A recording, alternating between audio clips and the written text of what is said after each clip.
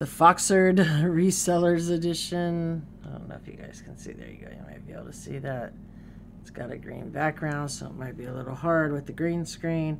Uh, it was 1738 shipped, three books per mailer, 17 mailers, no crazy grails, but guaranteed value and some fun. 100% loaded with first issues, foil, OG covers, uh, light spoiler, video review. I don't know if I've seen that. Uh, I guess right here you can kind of see what's in there.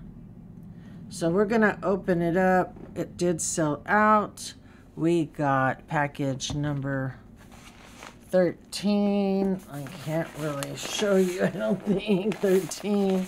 Okay, so I'm going to open it up. And we're going to see what's in here. Pretty big envelope. Alright. Put that out of the way. Hmm. I mostly did this to support Foxy. We'll see what's here on whether it will be a keeper for us or not. Alright, they are taped together, but the first one is Iron Man. Don't think we have that one. Get the tape off. This is a direct edition, part one of six, and this is Iron Man to check and see if we have that one. Uh, next one is um, Death Metal. I think I have this one. I'm going to have to double check. That one.